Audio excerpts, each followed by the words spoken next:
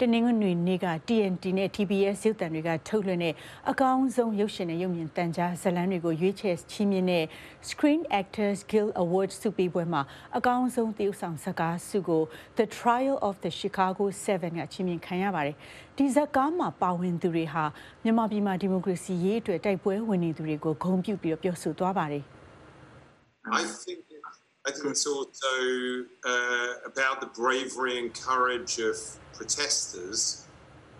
ထိခိုက် to တာကျင်ဒဏ်ရာရနိုင်တဲ့တခါတည်းမှာအသက်သေးစေနိုင်တဲ့အထိအနေရီရှိပေမဲ့မတရားမှုကိုစန့်ကျင်ပြီးဒီမိုကရေစီအရေးအတွက်တိုက်ပွဲဝင်နေသူတွေဖြစ်ကြောင်းအထူးသဖြင့်မော်စကိုနဲ့မြန်မာပြည်မှာတွေ့နေရတဲ့ဒီမိုကရေစီရေးအတွက်တိုက်ပွဲဝင်နေတဲ့ယာနဲ့ချီတဲ့တိုက်ပွဲဝင်နေသူတွေအတွက်ကိုဂုဏ်ပြုတာပါလို့ The Trial of the Chicago 7ဇက်ဆောင် Sacha Baron Cohen ကပြောဆိုခဲ့ပါတယ်။ The Trial of the Chicago 7ဟာအကောင်းဆုံးရုပ်ရှင်ဆုရုပ်ရှင်တီးဖြတ်ဆုနဲ့ဇက်ပို့ဆုတွေအပါအဝင်အော်စကာဆု6ဆုအတွက်ဒီနှစ်အမည်စရင်းတင်သွင်းခံထားရတဲ့ရုပ်ရှင်ဖြစ်ပါတယ်။